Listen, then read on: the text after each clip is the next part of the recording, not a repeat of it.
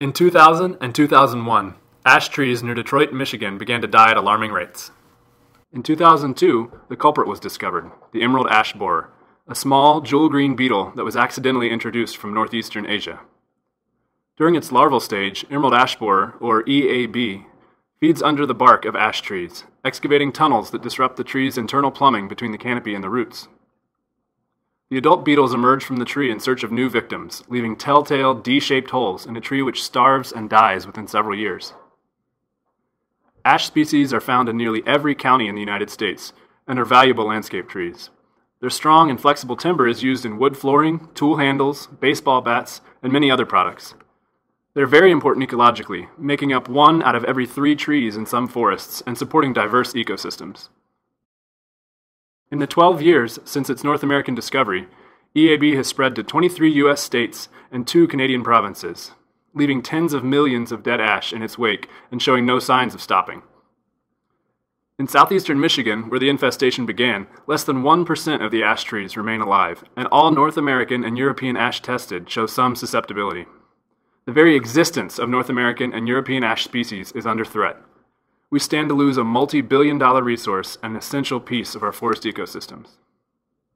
The first thing many people think when they hear Ohio State is football. And actually, football provides a pretty good metaphor for the emerald ash borer problem and our approach to solving it. Even the ultimate home field advantage, the horseshoe of Ohio Stadium, isn't enough for this green ash to successfully hold off the emerald ash borer. It just doesn't have the right tools. It's never played this opponent before. To save North American and European ash, we're reaching into another team's playbook. Asian ash species have grown up with the emerald ash borer. They played every year and they know all the tricks. Inside each plant cell, the genome is like a playbook for every game the plant has ever played. It's enormous. Plants have evolved mechanisms to know when to call certain plays, when genes should be turned on. As outside observers, we don't know which plays are the ones that work against EAB.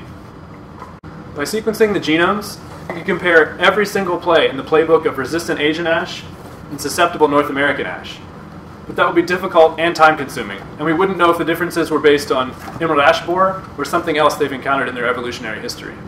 What we can do is sequence the transcriptome to see what genes are expressed when the tree is under attack, what plays are called to defend against EAB. By comparing the genes involved in the successful defense of the resistant trees with those of the unsuccessful defense in the susceptible trees, we can find the differences, the resistance genes. When we find those, we can locate the plays in the playbook of the genomes and use selective breeding to make sure that North American ash are able to defend themselves on their own. The resistant North American ash we will breed could help replace some of those killed by EAB, and they'll reproduce on their own to help offset some of the massive commercial and ecological losses.